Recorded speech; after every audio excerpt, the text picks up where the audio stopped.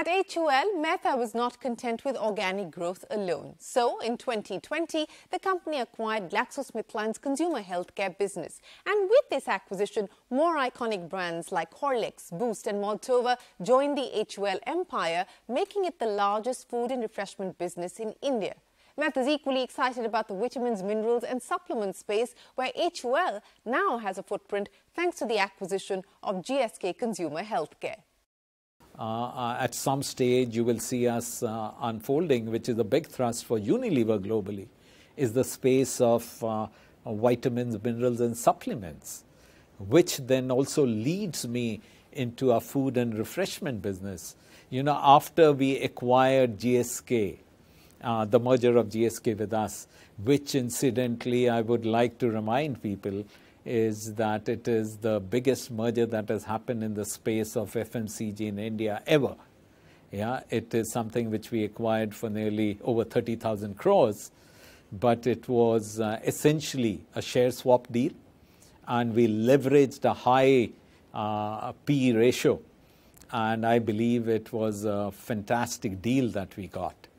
And uh, why it makes me so bullish about a health food drink business is because as a country, while we consume the gross calories today, the recommended gross calories, as a country, we are still seriously deficient when it comes to minerals, vitamins, and supplements.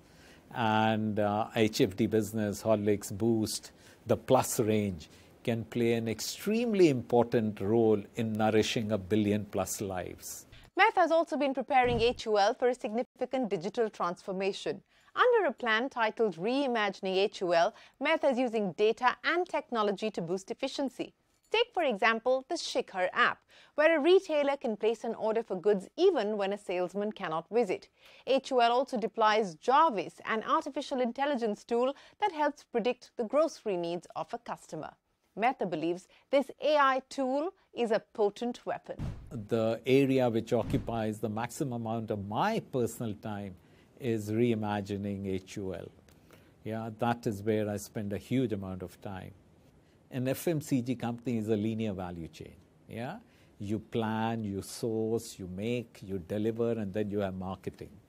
But here we said in today's world, where speed will be of essence, where uh, we will be able to pull together disparate information, we need to create ecosystems.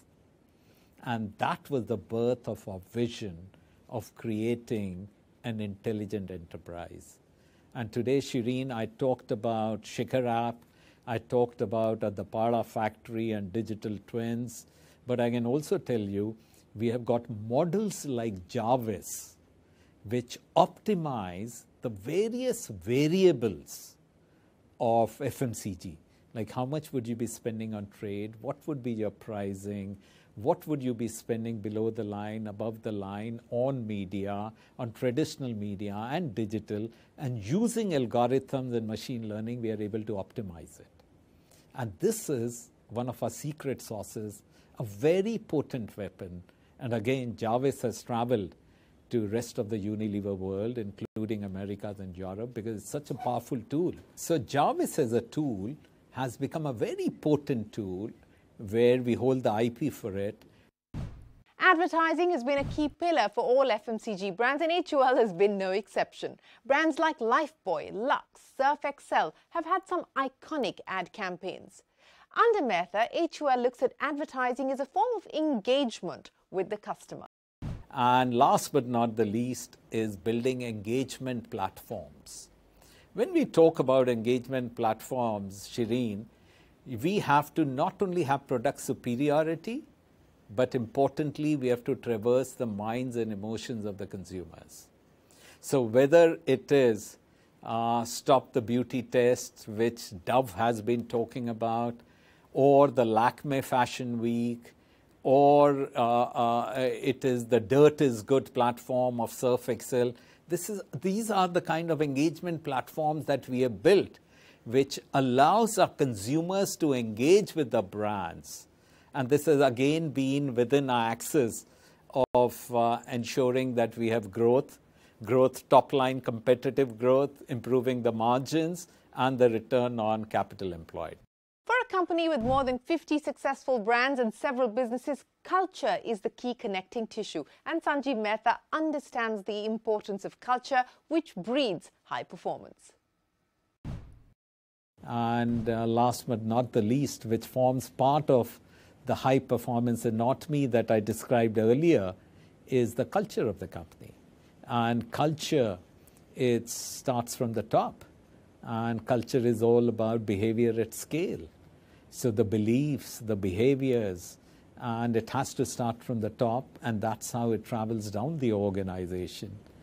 And uh, I'm so pleased with the kind of culture we have and the culture that we are building in the company.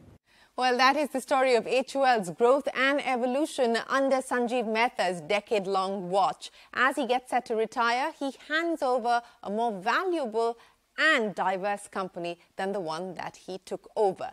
Thanks very much for watching this episode of The Winning Mindset. We'll be back with another successful CEO, a successful entrepreneur. Till then, from all of us here on the team, goodbye Thanks very much for watching.